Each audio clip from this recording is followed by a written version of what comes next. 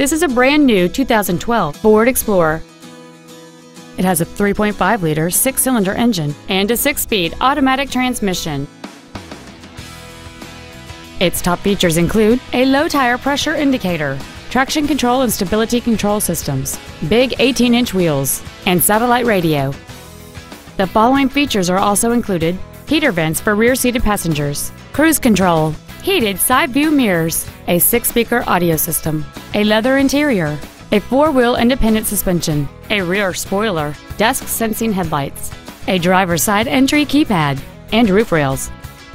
Call or visit us right now and arrange your test drive today. Sunrise Ford is dedicated to doing everything possible to ensure that the experience you have selecting your next vehicle is as pleasant as possible. We're located at 5500 Lankershim Boulevard in North Hollywood.